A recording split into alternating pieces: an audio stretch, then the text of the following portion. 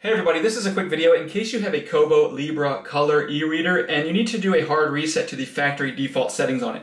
Now you're going to want to do this for one of two reasons. The first one is troubleshooting. If you're having any issues with this uh, reader not responding or if it seems to be lagging or frozen and stuff like that, we can very often fix that with a hard reset to the factory default settings.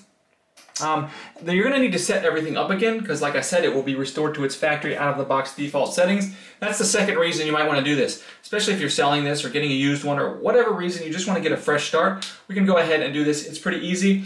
All we need to do is on the back there's the power button. You're going to press and hold that until you see it say power off on the screen.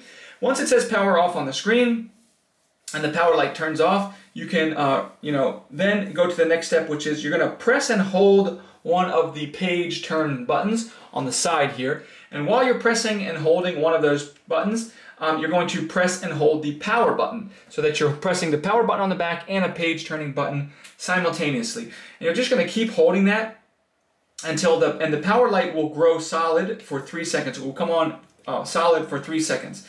Now, when the power light, then it'll start to blink. And when the power light stops blinking and turns off, um, then you can go ahead and release the, those two buttons.